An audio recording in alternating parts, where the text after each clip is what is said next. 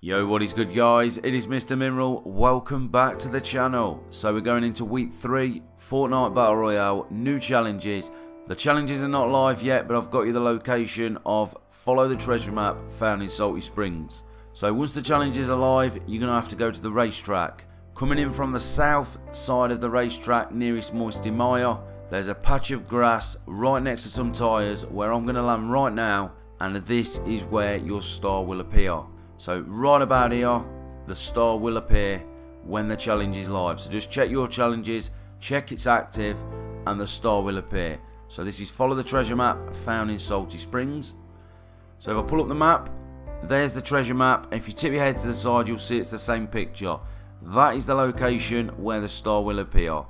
So I will be bringing some more videos today of the rubber duckies and the secret location of the star once you complete all week 3 challenges if we could aim for 108 likes, 6,000 subscribers, let's go get it. I'll be Mr. Mineral. See you in the next one.